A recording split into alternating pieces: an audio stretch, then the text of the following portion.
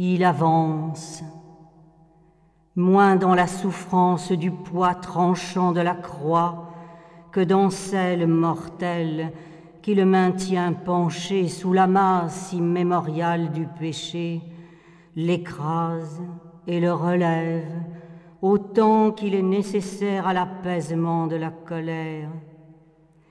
Et la huée du fond de tous les temps venus sur la montée qui l'exténue le porte, Dieu fort en mal de mort que le haut de la pente épouvante.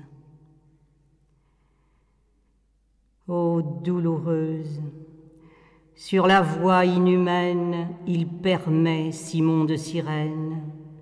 Il essuie au voile de la pitié son visage souillé. Et l'étoile de consolation, il nous la montre quand il te rencontre au calvaire de sa passion.